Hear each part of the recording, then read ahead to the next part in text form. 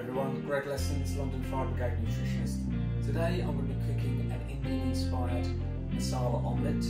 Uh, this will serve two people and it's very simple to prepare, very quick to cook. So first off we'll start with a couple of spring onions.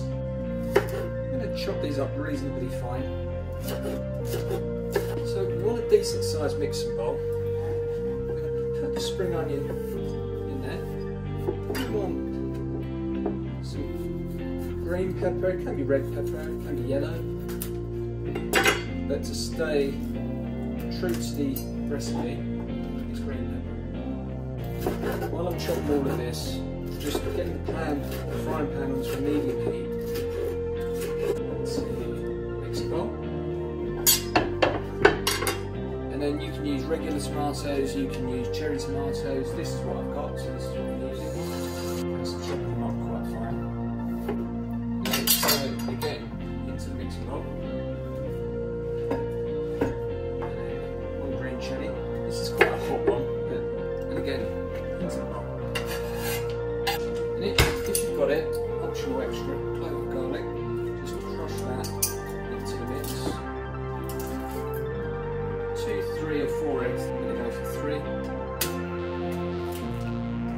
And while you're doing all of this, you want the grill set to a high heat.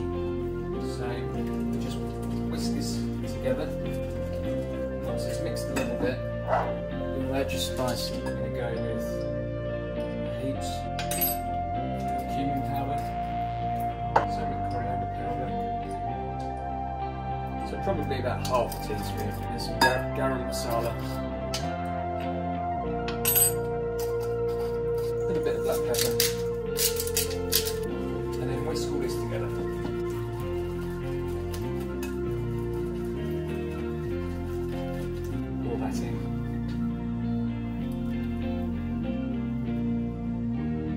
Use your spatula to even out the veg.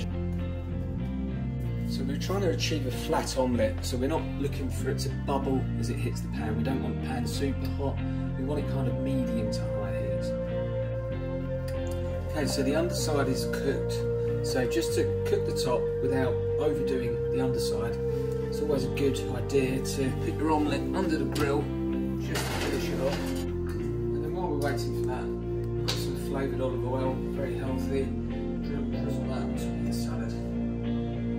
That looks pretty good to me. A little. Perfect.